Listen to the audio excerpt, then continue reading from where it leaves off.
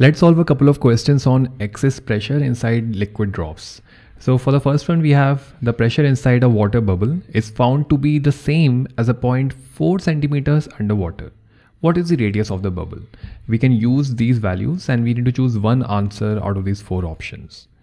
Alright, pause the video and first attempt this one on your own. Okay, hopefully you gave this a shot. Now first let's try to draw what the question is telling us. So we have what do we have? We have let's draw a beaker. And you have some water inside of it. Okay now the pressure inside a water bubble. So there is a water bubble outside. Let's say this is a water bubble. And because it's a bubble it has two interfaces. And let's also draw water right just like like this. All right so this is your bubble now the pressure inside the bubble, so the pressure inside this pressure, it's the same as a 0.4 centimeters underwater. So a 0.4 centimeters underwater, let's say this point, this point right here, this is 4 centimeters. The pressure inside this bubble is the same as the pressure at the 4 centimeter mark. So let's let's write that. Pressure inside the bubble, let's write pressure bubble. This is equal to equal to the pressure at the 4 centimeter mark. Okay, now we can ask ourselves what is the pressure at this point at the 4 centimeter mark point.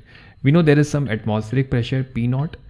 So P naught plus P naught plus rho g h that was the pressure in a fluid right at a depth h the pressure at a depth h was given by rho g h so this is rho g into h and p bubble we know that there will be an excess pressure inside a liquid bubble and that that's really that's really p naught plus 4s by r. It's 4s by r. 4s by r is your excess pressure.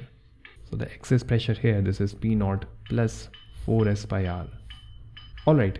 Now let's try to work out let's try to work out this. We know we can see that p naught gets cancelled off and we need to figure out the radius of the bubble. So what do we need to know is we need to figure out this so let's let's do that. This is let's keep r on one side. Let's take r to the right hand side and everything else on the left hand side. So when we do that this becomes 4s divided by rho gh and that is equal to that is equal to r. This is equal to r. Now let's put in the values. We know what s is. S it's given in the question. We know what rho is and as well as h. H we can take as we can change it to change it to meters to keep everything consistent.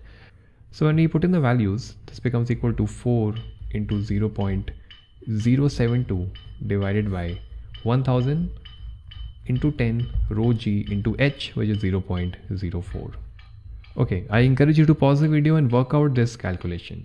Okay when you work this out this will come out to be equal to 0.0007 meters. And when you change it to millimeters by dividing it with 1000 you will get the answer as 0.7 millimeters and that is option B.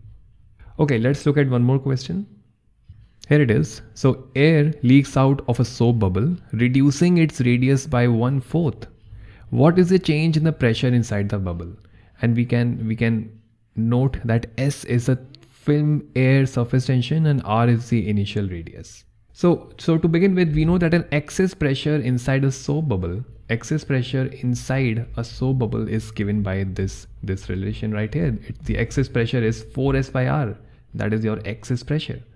Now this is true for a soap bubble with radius r but when you reduce the radius by one fourth when you make the radius when the new radius is really when you change the radius by fourth then the excess pressure then that is given by that becomes pi let's write n for new. This is p0 plus 4s divided by r by 4 it's r by 4 this 4 goes to the top and this becomes this becomes p naught plus 16s 16s by r.